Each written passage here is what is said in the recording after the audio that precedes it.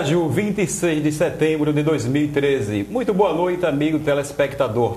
Está entrando no ar pela sua TV Senac o programa Nada Levado a Sério.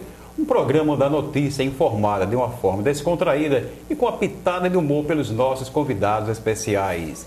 Ao nosso lado, o renomado artista sergipano Júnior Bagaceira, que irá fazer uma análise divertida das principais notícias que ocorrem no nosso estado, no Brasil e pelo mundo. Júnior, uma boa noite.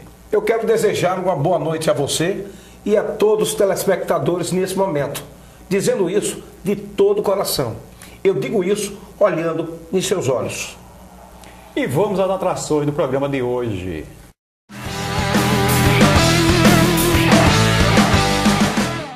Médicos cubanos chegam a Sergipe no final de semana. Congresso define em outubro o fim do voto secreto. Obama admite rever procedimentos da NASA ao falar sobre espionagem no Brasil e México. Spider tapa a boca com a mão para evitar novo beijo em Chris Weidman.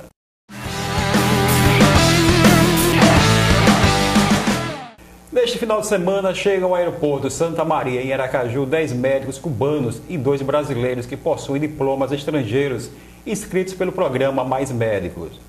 Os cubanos serão distribuídos entre cinco municípios sergipanos, dois para cada.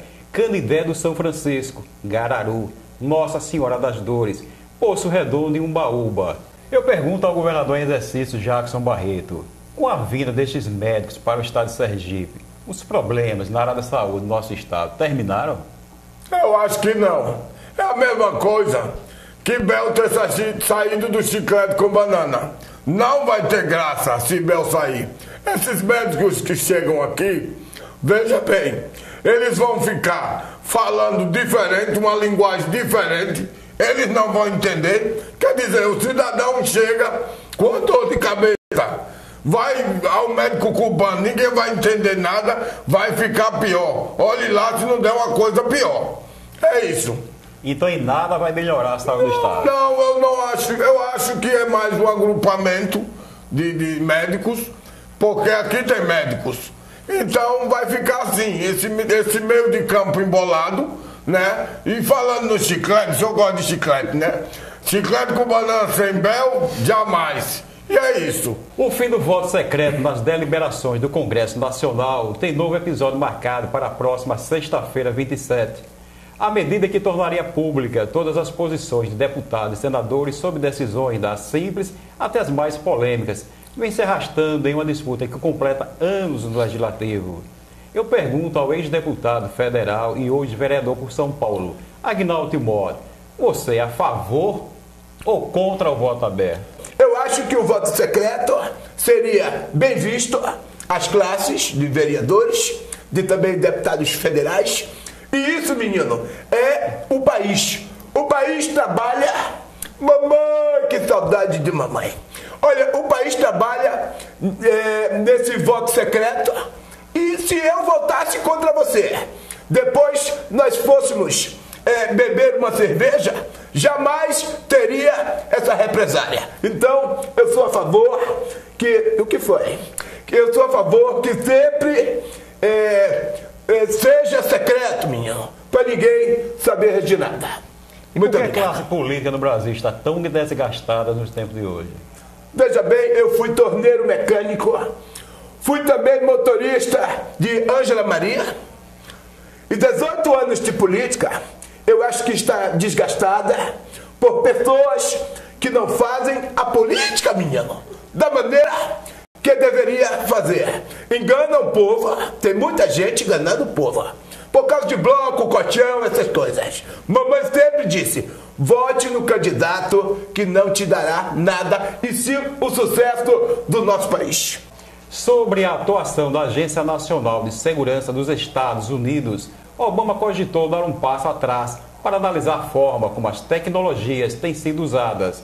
Obama ressaltou que há uma gama de interesse nas relações envolvendo os Estados Unidos da América e os dois países que, segundo denúncias veiculadas na imprensa, foram espionadas.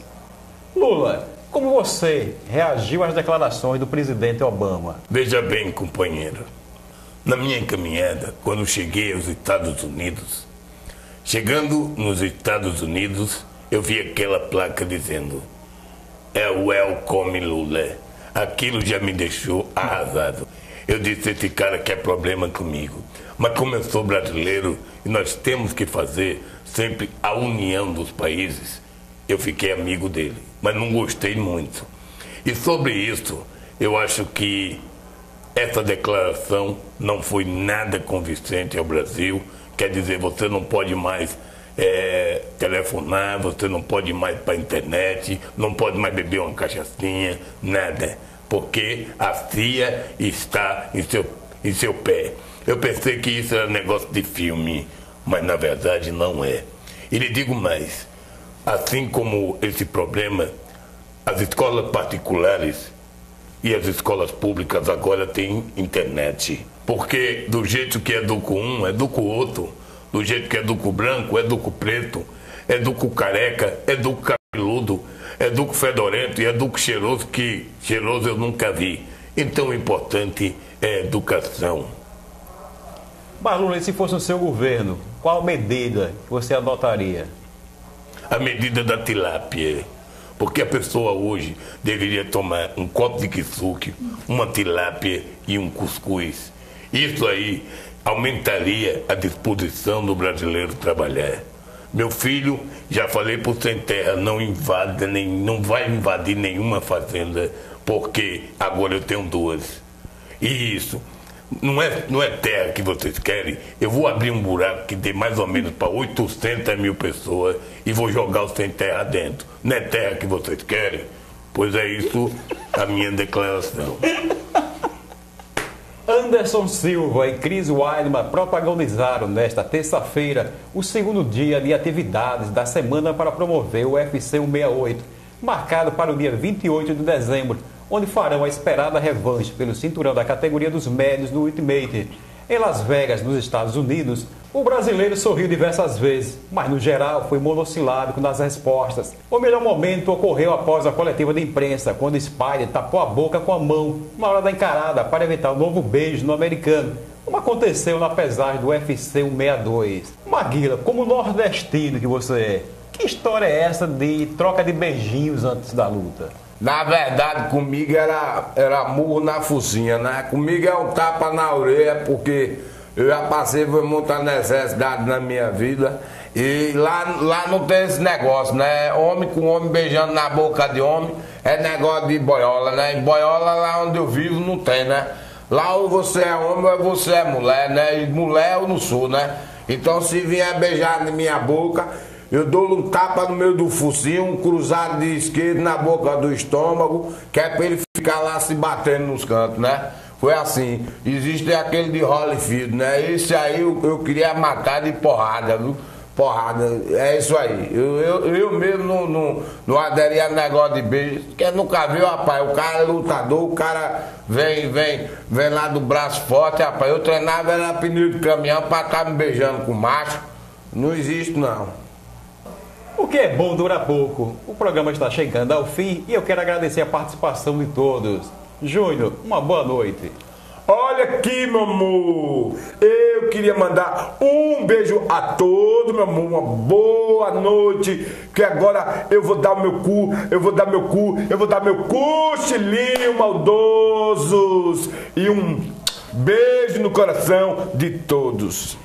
A você, telespectador, e a Deus, azando a nossa existência, desejo uma boa noite e até o próximo programa com fé em Deus. Vá se lavar que eu quero lhe usar.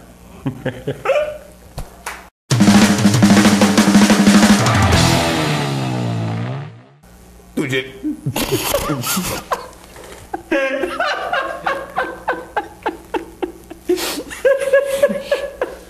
corta isso aí. Não, deixa aí, Não, vai rodando. Aí. Vídeo cacetada aí. Não é terra que vocês querem? Pois é isso a minha declaração. Não tem como,